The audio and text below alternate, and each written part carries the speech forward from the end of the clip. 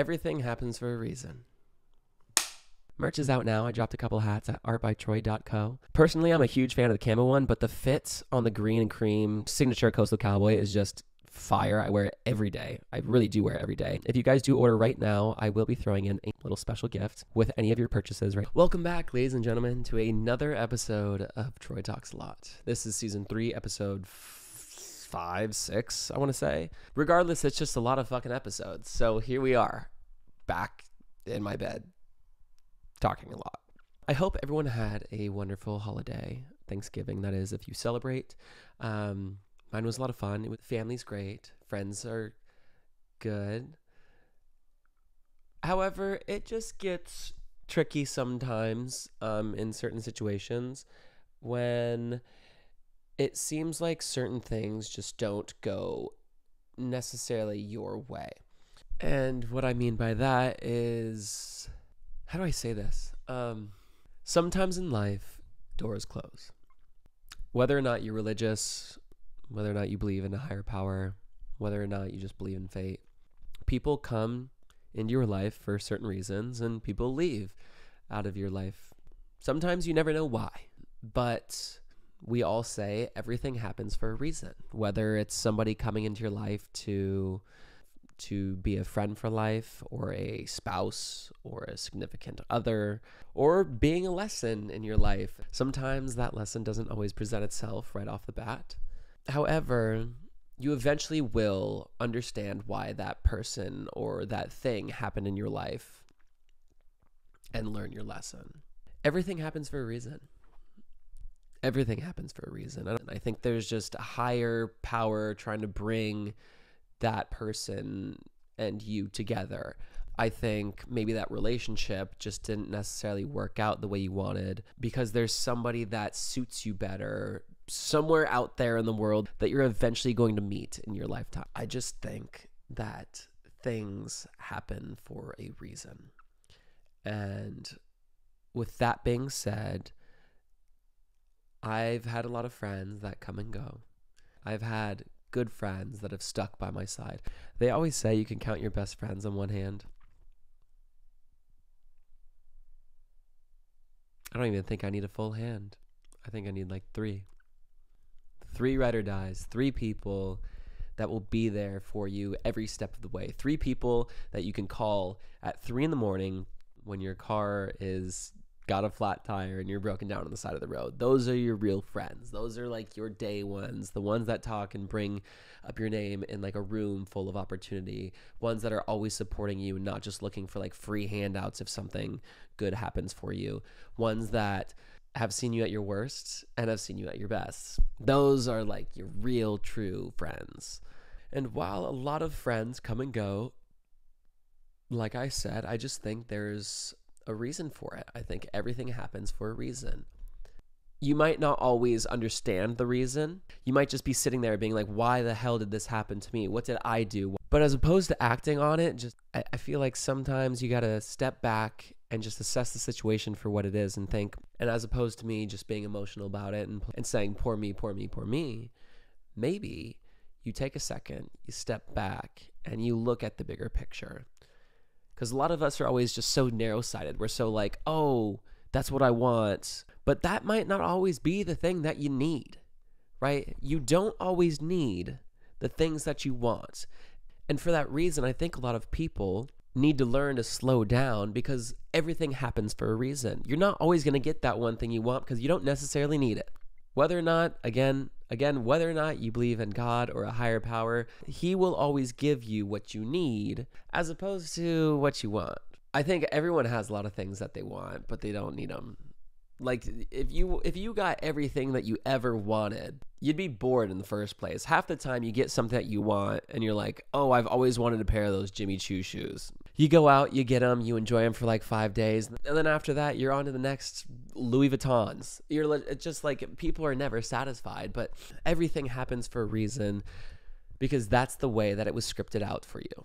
You didn't end up going on that photo shoot and meeting some girl for a random reason. You didn't end up going to the coffee shop and just accidentally butting into someone and maybe spilling their coffee and you're like, "Oh shoot, I'm so sorry."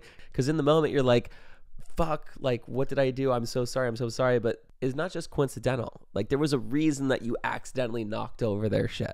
That's how some of our best friends were made. It's just doing stupid shit or just like something that was so out of the ordinary where you're like, whoa, what the fuck was that? It's so weird how the world works and how the universe works and just everything works in such mysterious ways. And this is the most like hippie and LA shit I've ever said, but we're all just like frequencies and balls of energy that run around and attract the same energy that we kind of put into the world.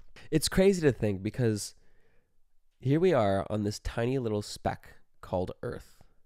And outside Earth is an entire, an entire universe entire galaxy. And the fact that we think that things are just coincidences are just is so just mind blowing to me. Like everything happens for a reason. Everything must happen for a reason. It must. Like the thought of things just being like coincidental doesn't make any sense.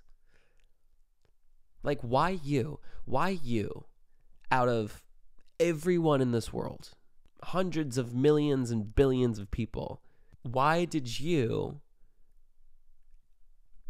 randomly run into the girl that you had the biggest crush on for like two, three years at a coffee shop on a Tuesday at 10.03 in the morning when you were supposed to walk there, but all of a sudden you changed your mind to go drive. And boom, who's there? The one and only. Like that's like that's crazy to me. Like everything happens for a reason. And kind of going back to the lessons is that people come and go in your life and people teach you such valuable life lessons that you should never look back at someone and be like, "Oh, that was a shitty relationship" because because I don't care how you guys left off on your terms. You gained something from that. You learned something from that. And as hard as it is to like revisit being like, "Oh, well that was a shitty breakup." Like, yeah, I've been there. But now that I'm over it emotionally, I can now sit back and look at the bigger picture and be like, wow, I, I grew so much from that moment because I now realize what I like, what I don't like, what I'm willing to put up with, what I'm willing to not tolerate. Everything happens for a reason. Everything happens for a reason. The fact you didn't get in that college you wanted, that happened for a reason. The fact you got laid off, that happened for a reason. The fact that you failed your math test. Well, I mean, that was probably just because you didn't study. But I mean, hey, there was probably a reason because you didn't study. The fact of the matter is, everything happens for a reason. I guess the question is, what is that reason half the time? But I don't know. And that's why it's fun.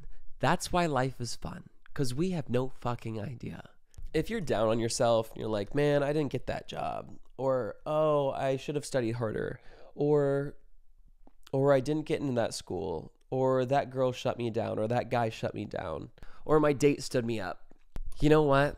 As hard as it is in the moment, sometimes you just got to laugh it off and say, you know what? Everything happens for a reason. And I know that's hard to hear. You're like, Troy, what the fuck? Like, yeah, this guy stood me up on a date. I sat at dinner by myself.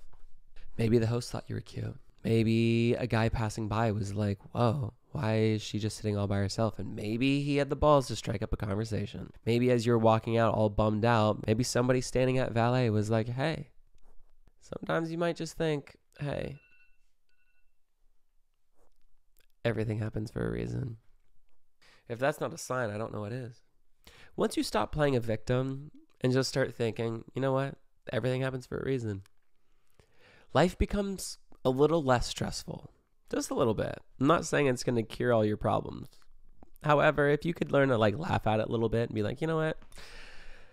Everything happens for a reason, you know, and kind of just put it out in the universe that, hey, this is what it is and this is my energy. This is how I'm living life. It just makes things a little bit simpler. And it's kind of nice. You should try it out.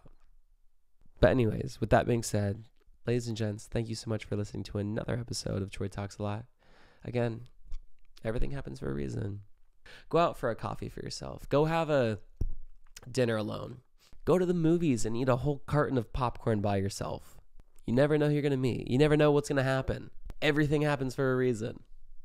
It really does. Anyways, hit that subscribe button, babes. We are on the mission to 10,000 subs by the end of the year Hit the like button if you like this video. Leave a comment or two down below. Anyways, with that being said, I love you guys so much, and I'll see you in the next episode. Thanks for watching another episode. Peace.